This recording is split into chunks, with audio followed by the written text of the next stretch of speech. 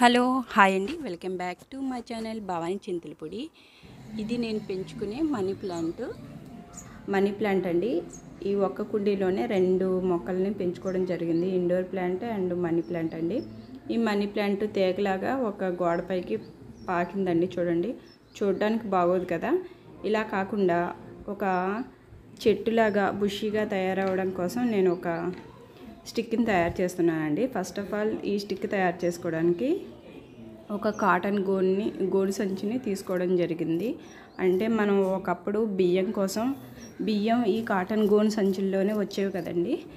ఇప్పుడైతే ఇవి లేవండి. ఇవి పూర్వకాలంలో ఉండేవన్నమాట. ఇది వేస్ట్గా ఉందని నేను తీసుకు తీసుకున్నానండి ఈ కాటన్ గోను సంచి. ఈ కాటన్ గోను సంచిని నేను ఒక ముక్కలా అది కట్ చేసుకుంటున్నాను. అంటే మొత్తం గోని యూజ్ చేయడం లేదు. సగం మాత్రమే యూజ్ చేస్తున్నాను. ఒక స్టిక్ని తీసు తీసుకోవాలండి. ఈ అంటే మనీ ప్లాంట్ స్టిక్ తయారు చేసుకోవడానికి ఒక ట్రీ టైప్లోని బుషీగా రావడం కోసం అందంగా కూడా ఉంటుందండి. అలా తయారు చేసుకోవడం కోసం నేను ఇలా కాటన్ గోన్ సంచిని కట్ చేసుకోవడం జరుగుతుంది. మనం హ్యాంగింగ్ పాట్లో పెట్టుకోవచ్చు అండ్ మామూలు నార్మల్ కుండీలో కూడా వేసుకోవచ్చు అండి ఈ మనీ ప్లాంట్ని ఎన్నో విధాలుగా మనం డెకరేట్ కోసం యూజ్ చేసుకోవచ్చు. అందులో భాగంగా నేనైతే ఇలా తయారు చేసుకోవడం జరుగుతుందండి. ఒక స్టిక్ని తీసుకున్నాను. ఇలా కాటన్ గూన్ సంచిని రెండే రెండు తీసుకున్నానండి. సగం మాత్రమే తీసుకుంటున్నాను. చాలా ఈజీ అండి ఇలా తయారు చేసుకోవడం.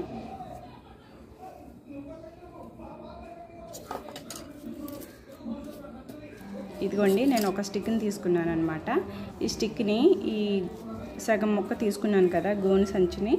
దానిలోకి ఇలాగా చుడుతున్నాను అనమాట చుట్టేస్తున్నా. ఇలా చుట్టేసుకోవాలండి మొత్తం.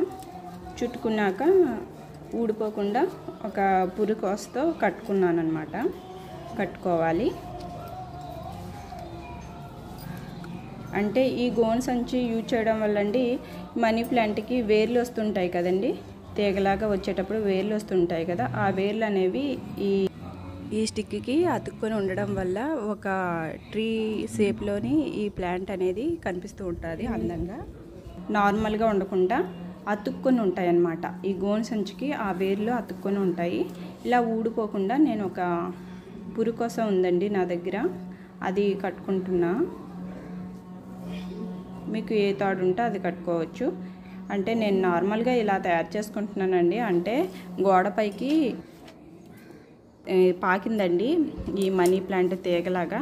అంటే వేలబడుతూ ఉంది. అసలు చూడడానికి కూడా నాకు అందంగా అనిపించలేదు. అందుకని ఇలా తయారు చేస్తున్నాను అనమాట ఒకే కుండీలో మనీ ప్లాంట్ అండ్ వేరే ప్లాంట్ కూడా ఉన్నాయి కదా. అందుకని ఈ మనీ ప్లాంట్ని సపరేట్ చేసుకుంటున్నాను. ఇలా మొత్తం ఒక స్టిక్ని తీసుకొని చుట్టేసుకున్నానండి. తర్వాత ఒక కుండీ తీసుకున్నాను అనమాట కుండీలో మట్టి ఇవన్నీ మొత్తం నేను కోకోపిట్టు ఇసుక కంపోస్ట్ అన్నీ కలిపి పెట్టుకున్నాను. ఒక కవర్లో తీసుకున్నాను మట్టి మొత్తాన్ని. దాన్ని ఇలా కుండీలో వేసేసుకుంటున్నాను. తర్వాత నేను తయారు చేసుకున్న ఈ స్టిక్ ఏదైతే ఉందో ఆ స్టిక్ని ఈ కుండీలో ఫస్ట్ వేసేసుకుంటున్నానండి. అదే నిలబెట్టుకుంటున్నాను తర్వాత మనీ ప్లాంట్ని వేస్తానండి. ఫస్ట్ మనీ ప్లాంట్ వేయకూడదు. ఈ స్టిక్నే పెట్టుకోవాలి కుండీ మధ్యలో పెట్టుకోవాలన్నమాట. ఇలా పెట్టుకుంటే కొన్ని రోజులకి ఈ స్టిక్ మొత్తం మనీ ప్లాంట్ అనేది అల్లుకుంటుంది.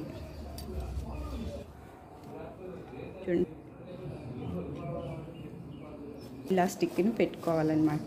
మధ్యలో పెట్టుకోవాలి. పెట్టుకున్నాక మనం మనీ ప్లాంట్ని ఈ కుండీలో నాటుకోవాలి. మనకి ఈ మనీ ప్లాంట్ తీగల్లాగా వేలబడుతూ ఉంటాయి కదా. మనం ఎప్పుడైనా వేలబడినట్టు మనం చూస్తూ ఉంటే దాన్ని చుట్టేసుకోవచ్చు. ఆ స్టిక్ మొత్తానికి ఇలా చుట్టుకున్నట్లయితే అది కొన్ని రోజులకి ఒక ట్రీ టైప్లోని తయారయ్యి చూడడానికి అందంగా ఉండి బుష్గా కూడా తయారవుతుందండి. ఒక చెట్టులా కనిపిస్తూ ఉంటుంది అన్నమాట ఒకే కుండీలో రెండు మొక్కలు అయిపోయాయండి. అందుకని నేను ఇలా సపరేట్ చేశాను. మనీ ప్లాంట్ని ఎన్నో విధాలుగా మనం పెంచుకోవచ్చు అండి వాటర్లో పెంచుకోవచ్చు హ్యాంగింగ్ పాట్స్లో పెంచుకోవచ్చు నార్మల్గా పెంచుకోవచ్చు. ఎన్నో మనకు ఎలా ఐడియా ఉంటే ఆ విధంగా ఈ మనీ ప్లాంట్ని డెకరేట్గా మనం తయారు చేసుకోవచ్చు పెంచుకోవచ్చు అండి చూడండి ఇలా నేను వేసేసుకున్నాను అనమాట వేసేసుకున్నాక దీనికి ఒక పొడవుగా తీగలాగా తయారైందండి. దాన్ని ఈ స్టిక్ ఏదో తయారు చేశానో ఆ స్టిక్కి మొత్తం చుట్టేసుకుంటున్నాను.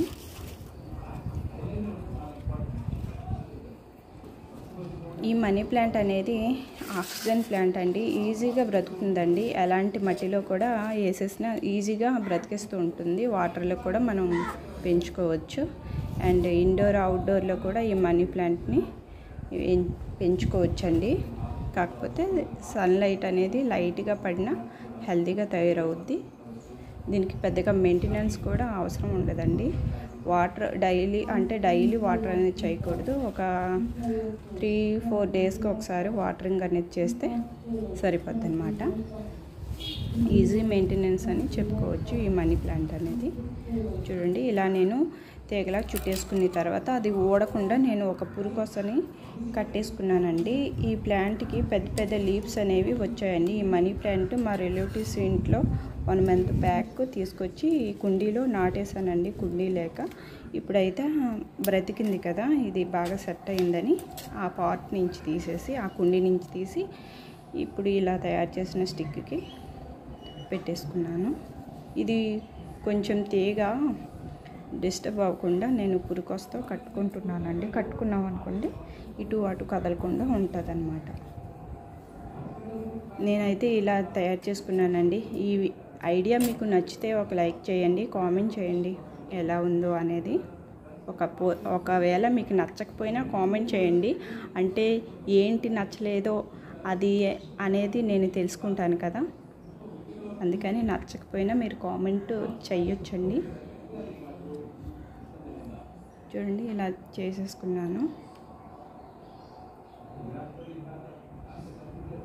అంటే నేను నార్మల్ కుండీలో కూడా నేను మనీ ప్లాంట్ని వేసుకున్నానండి. అంటే ఒకే కుండీలో ఇలా మనీ ప్లాంట్ ఉంది కదా ఈ మనీ ప్లాంట్ వల్ల మిగతా మొక్కకు కూడా డిస్టర్బెన్స్ ఉంటుంది కదా అని ఇలా సపరేట్ చేసి ఇలా స్టిక్కి తయారు చేసుకొని పెట్టుకోవడం జరుగుతుంది.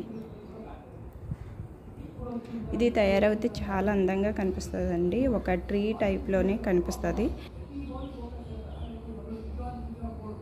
చిన్న కుండీలో కూడా మనీ ప్లాంట్ అనేది బ్రతుకుతుందండి. కాకపోతే దీనికి లైట్గా సన్లైట్ అనేది పడితే ఇంకా హెల్తీగా తయారవుద్ది. లీవ్స్ కూడా పెద్ద పెద్దగా వస్తాయన్నమాట. చూడండి బాగుందా? ఇలా నేను వేసుకున్నానండి మనీ ప్లాంట్ని. ఇలా చిన్న కుండీలో వేసుకున్నా. దీని లీవ్స్ అనేవి ఎల్లో అండ్ గ్రీన్ కలర్లో ఉన్నాయన్నమాట.